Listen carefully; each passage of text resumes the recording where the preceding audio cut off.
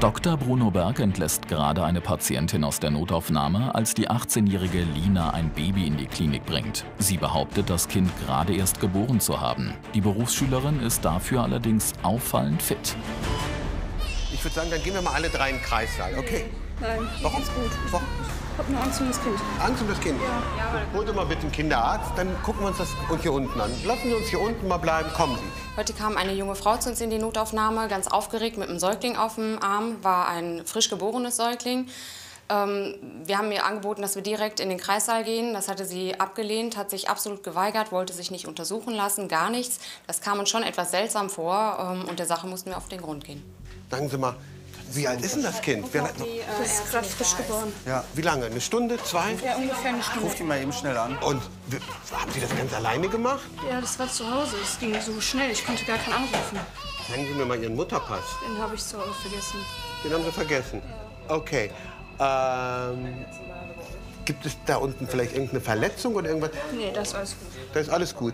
Ich würde mir das aber echt gerne mal angucken. Nee, es geht nur um das Kind. Das Kind Aber das ist wirklich gefährlich. Wir müssen mal gucken. Wissen Sie, Ihre Gebärmutter, Sie könnten bluten.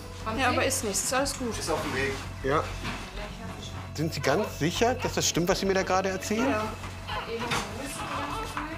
Wollen Sie sich nicht wenigstens einmal kurz hinlegen, dass ich mal nach der Gebärmutter tasten kann? Wir, müssen sicher sein, dass die sich zurückbildet. Sonst bluten Sie und dann kann das echt gefährlich sein für Nee, Sie. mir geht's wirklich gut. Nur dem Kind fehlt irgendwas. Dem Kind fehlt irgendwas. Ja, fehlt das dem Kind denn Das irgendwas? hustet die ganze Zeit so stark. sind jetzt da jetzt gucken, Kann ich denn ja? eben den Blutdruck bei Ihnen messen?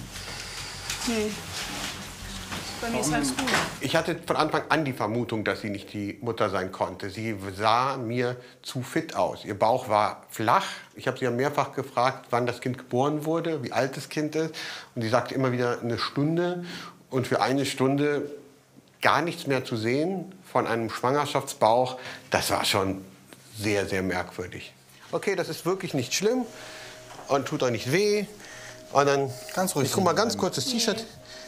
Aber ich muss doch einmal wenigstens Ihren Bauch anfassen Nee, ist können. alles gut. Gucken Sie mal, da war doch ein Kind drin. Ja, aber ist alles gut. Aber warum zittern Sie denn so?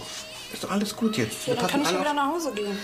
Genau, aber damit wir Sie nach Hause lassen können, müsste ich doch wenigstens mal gucken, ob die Gebärmutter sich zurückgebildet hat. Ja, ist alles gut da unten. Ich habe erst mal versucht, ihr den Bauch abzutasten, einfach um zu sehen, wie groß ist diese Gebärmutter. Ist sie gut zusammengezogen? Was bedeutet hätte, es besteht keine Blutungsgefahr.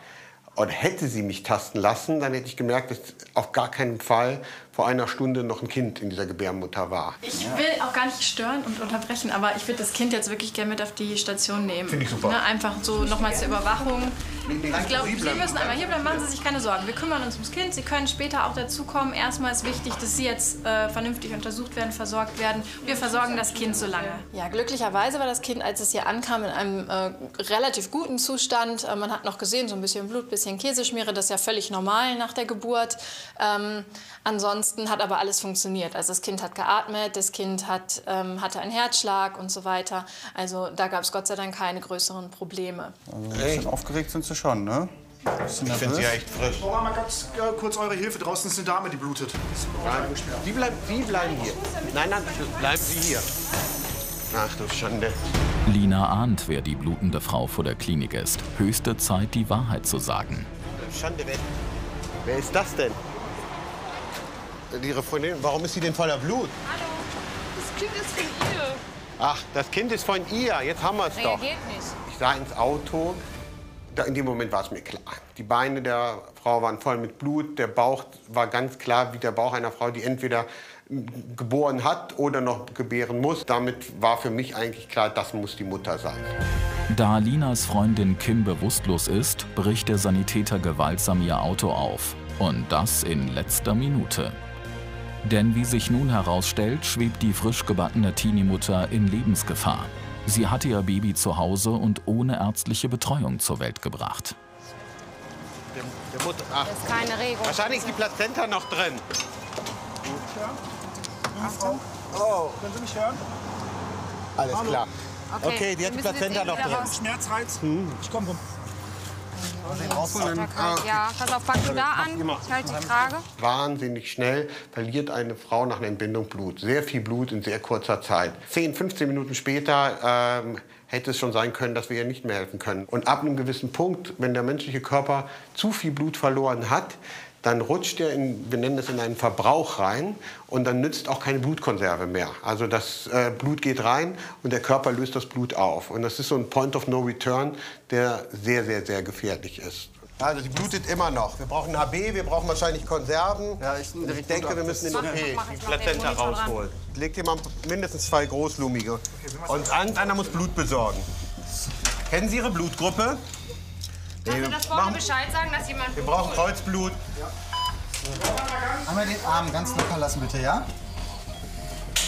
Okay, ich halte mal den Uterus. Vielleicht kann ich die Blutung ein bisschen stoppen. Gegriffen habe ich nach der Gebärmutter. Man nennt das den Credeischen Handgriff. Benannt nach einem Herrn Franz Crede. Der hat das 1856 in Leipzig schon entwickelt, diesen Griff. Und seitdem ist der eigentlich unverändert. Ähm, der ist dazu da, um die Gebärmutter zu halten und dafür zu sorgen, dass er sowohl sich die Nachgeburt löst und im Falle einer starken Blutung eben diese möglichst äh, klein zu halten. Die Plazenta, Ihr Mutterkuchen, der hängt da noch drin, okay? Ich halte Ihre Gebärmutter, das tut jetzt weh, damit Sie nicht weiter bluten. Kreuzblut habe ich, BGR habe ich auch, dann können wir gleich direkt noch eine BGR machen. Super, Anästhesisten wissen Bescheid. Also wir brauchen auf jeden Fall einen Anästhesisten schnell und dann fahren wir jetzt in OP und dann holen wir den Mutterkuchen da wieder raus, okay? Okay, Alles klar. los geht's. Keine Zeit verlieren. Lass die Kabel hier. Also ich kann, hier, ich kann euch nicht helfen, ich muss hier halten. Warte, ich mache aber trotzdem hoch. Okay.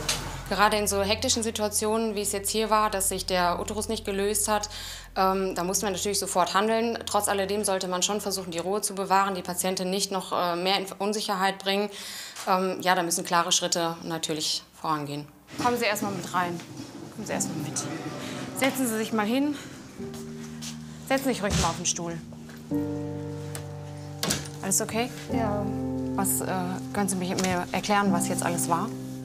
Ja, das ist halt ihr Baby. Von Ihrer Freundin? Ja. Und äh, die wollte halt nicht, dass es rauskommt. Die wollte das Baby in eine Bibelklappe bringen. Okay. Und dann habe ich halt zu ihr Aus gesagt, welchem Grund? sie ist in der Ausbildung und schafft das alles nicht. Wir wohnen ja zusammen. Und ich habe zu ihr Vater, gesagt, weiß der was davon? Was ist mit dem? nee, der weiß da nichts von. Das Der wusste gar nicht, dass sie schwanger war. Nee, nach der Trennung äh, hat sie das erst gemerkt. Ja. Das ist nämlich ein Referent da von der Schule. Ach, von der Schule? Okay, wie alt ist Ihre Freundin? 18. Okay. hm. Und jetzt wollten Sie das Baby zur Babyklappe bringen? Nee, sie wollte das selber machen. Ich habe sie dazu überredet, dass wir nach Hirn fahren. Ja. Weil das Baby auch so stark gehustet hat, aber ich wusste ja nicht, dass sie so viel Blut verliert. Okay, und dann haben Sie sich jetzt als Mutter Ja. ausgegeben. Sie machen ja Sachen. Warum haben Sie sich denn nicht irgendwo Hilfe geholt? Er war zu spät. Sie wollte auch nicht. Sie waren nicht zu überreden, Ihre Nee. Freundin? Okay. Es gibt viele Leute, die eine Hausgeburt vorziehen, aber die beiden Mädels waren jetzt noch relativ jung und unvorbereitet. Also es gibt genug Dinge, wie man sich Hilfe holen kann. Es gibt auch anonyme äh, Wege, ein Kind zur Welt zu bringen. Genauso gut gibt es genug Hebammen und Ärzte, die wirklich dafür da sind. Die 18-jährige Kim hatte Glück im Unglück. Im OP kann ihr die Plazenta erfolgreich entfernt werden. Bei der Visite erklärt Dr. Berg, warum sich die Berufsschülerin mit ihrer heimlichen Hausgeburt in Lebensgefahr gebracht hat. Mein Kollege hat sie ja eben operiert und das war nicht ohne. Also sie hätten wirklich auch dabei draufgehen können. Ich sag's mal ganz salopp, das war, Das war wirklich dumm von mir. das war sehr dumm von ihnen. Der Mutterkuchen hatte sich nicht gelöst, ja? Und ähm, deswegen haben sie angefangen zu bluten. Und sie haben ganz viel geblutet. Und so viel, dass ihnen hinterher der Kreislauf weggegangen ist. So haben wir sie eben im Auto gefunden. Und das Ganze vielleicht noch eine Viertelstunde länger. Und wir hätten vielleicht nichts mehr für sie tun können. Wenn Schwangere, gerade jüngere Mütter oder junge schwangere Frauen, ähm, keine Ahnung, wo sie hin müssen oder wissen, und die sind ja total unerfahren. Die haben eigentlich meistens oft Angst, zu ihren eigenen Eltern zu gehen. Ähm, da gibt es Kontaktstellen, man kann sich im Internet informieren, wo man sie anrufen kann. Und es gibt genügend Hilfe für solche Frauen. Tachchen. Hi. Wie konntest du mir das antun? Ah, hier sind der Papa. Ja. Nehme ich mal an. Na gut, gratuliere, auch wenn Sie es wahrscheinlich jetzt erst erfahren haben. Ich bin der diensthabende Gynäkologe. Hallo. Komische Aktion ist hier gelaufen, aber wir versuchen gerade herauszufinden, was da passiert ist. Du mir das auch von nichts sagen? Ja, was hätte ich dir denn sagen sollen? Du verlierst doch dann deinen Job. Ich habe einen großen Fehler gemacht. Ich hätte nichts mit einer Schülerin anfangen dürfen. Ah, okay. Von, Und Sie sind die Schülerin Er von ist, ihm. er ist nicht mein Lehrer, er war bei mir Referendar an der Schule. Okay. Ach, jetzt verstehe ich. Und dann hatten Sie Angst, dass er seinen Job verliert, wenn von der Schwangerschaft erfahren wird. Ja, ich will ihm nicht seine Karriere versauen. Sie haben gerade eben erst erfahren davon. Ja, auf dem Anrufbeantworter. Von, ja, Ach, denn Sie haben ihn angerufen. Ja. Finde ich aber gut. Gehen Sie mal ruhig ein bisschen näher. Alles ist doch alles gut. Ja? Hätte ich das gewusst? Ganz ehrlich, das? Kind ist in erster Stelle. Da ist der Job völlig egal. Egal was kommt. Hauptsache das Kind. Schaffen wir das zusammen? Ja, auf jeden Fall. Schau doch mal. Ich glaube, das Kind kommt doch da. Ist das Philipp? Was ist es denn überhaupt? Ein Junge. Philipp. Philipp. Da kommt ihr, Philipp. Kommen Sie, gucken Sie doch mal. Hallo. Rode ist mein Name, ich bin die Kinderärztin. Herzlichen Glückwunsch erstmal. Ich habe gehört, Sie, äh, Ihnen geht's besser jetzt. Ja, jetzt wohin sie auf jeden Fall, ja. Ja, also ihm geht's auf jeden Fall gut. Er ist ganz gesund und äh, war schon ganz laut. Ich glaube, der möchte gerne zur Mama. Wollen Sie ihn einmal haben? Ja, bestimmt Hunger. Also, Prognose, ähm, gut. Sie wird ein paar Tage da bleiben müssen, bis sie wieder zu Kräften gekommen ist.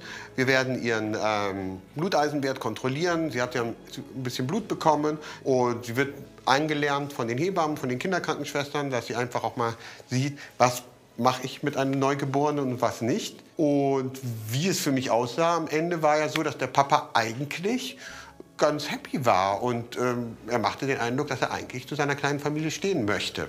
Ich hoffe, er tut's. Okay, ich glaube, wir lassen Sie drei vielleicht jetzt mal ein bisschen alleine. Ne? Ich glaube, für Sie ist das jetzt auch eine ganz schöne Überraschung, wa? Man, man wird ja nicht so schnell Vater innerhalb von einer Stunde. Ähm, okay. Es ist noch mal gut gegangen. Ähm, ich glaube, die drei brauchen Zeit jetzt füreinander und haben einiges zu besprechen. Und Auf jeden Fall. ich schaue später noch mal nach Ihnen, okay? Alles klar, bis später. Fazit für mich ist auf jeden Fall, äh, Kinder kriegen ja, aber nur unter Bewachung einer Hebamme, eines Arztes, im Idealfall von beiden, aber auf gar keinen Fall alleine oder mit einer Freundin. Kim hat sich entschieden, ihr Baby zu behalten. Fabian hat seinen Vorgesetzten die Situation offen erklärt und sich freiwillig an eine andere Berufsschule versetzen lassen. Kim und Fabian sind mittlerweile wieder ein Paar und kümmern sich liebevoll um den kleinen Philipp.